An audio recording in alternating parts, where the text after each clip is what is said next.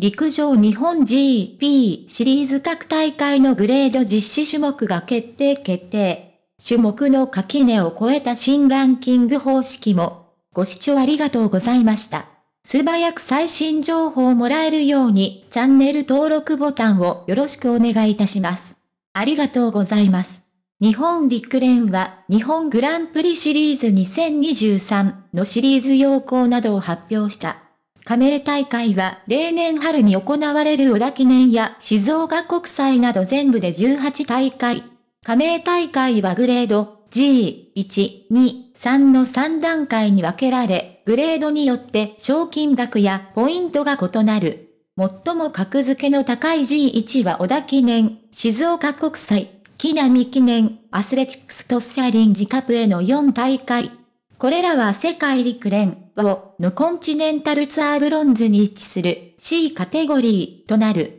G2 の D カテゴリーが兵庫リレーなど3大会、E カテゴリーが7大会、G3、F カテゴリーが4大会となる。各大会の日程、会場、実施種目についても発表。例年、多くのトップ選手が本格シーズンインを迎える4月29日の小田記念は、男女100メートル、110メートル、100メートル、ハードル、やり等などが実施される。5月4日のゴールデンゲームズインのベオカでは男女1万メートルが行われる。今年の日本選手権が12月に行われることもあり、このレースがブダペスト世界選手権やパタヤアジア選手権、ク州アジア大会の代表選考会に位置づけられた。会場が調整中だった新設大会の東京スプリングトッサリンジ2023は4月22日に国立競技場で行われる。また、今回新たに種目を限定しない総合ランキングを設定。種目を問わず上位3大会のパフォーマンスポイントを合計したランキングで争われ、総合ランキングの男女のの1名をシリーズチャンピオンイコール陸上界で